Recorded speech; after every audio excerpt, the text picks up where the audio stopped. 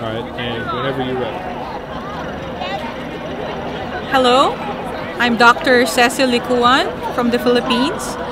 I'm currently serving as the Dean of the College of Rehabilitation Sciences of De La Salle Health Sciences Institute from the province of Cavite and city of Dasmariñas. So we're here in Texas uh, because we are supporting and sponsoring an event here in the AT&T Dallas Cowboy Stadium.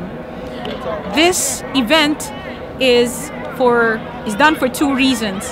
Number one is primarily because we wanted to raise funds and make sure that everybody is informed about it so we can still raise it further all for the benefit of children with disabilities in the Philippines.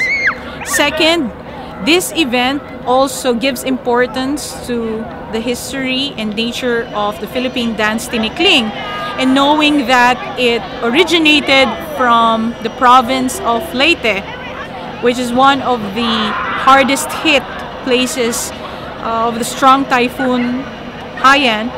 Proceeds also part of the proceeds of this event will also go there and benefit uh, the group uh, with uh, who are victims of the calamity. Now raising funds for children with disabilities is because of different reasons. Currently we have different projects running in the Philippines and it forms different facets of service. One of the things that we are eyeing is for us to put up a center wherein the rehab services, physical therapy, occupational therapy, speech therapy, and eventually special education through partnership can be given to the children free of charge. However, we need to raise 30 million pesos equivalent to more than $700,000 to do this. So we're eyeing on an alternative approach which is also bringing down the projects to the community level. So we are hoping to establish partnerships with the different mayors of the different towns. So they will be the ones to give us the space and the expertise would come from our academic institution so we can bring it down at the community level. Other than that, we are partnering with other non-profit organizations to sponsor some wheelchair uh, devices and other assistive devices to be given down again to the community level for those who cannot afford it.